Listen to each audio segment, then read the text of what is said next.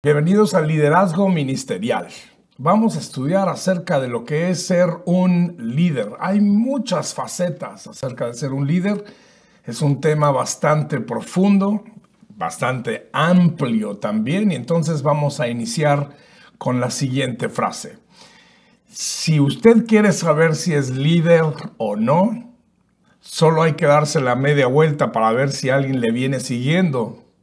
Si nadie le viene siguiendo, solo se está dando un buen paseo. Esa es una frase muy popular de John Maxwell hablando de que todos somos líderes en alguna capacidad u otra.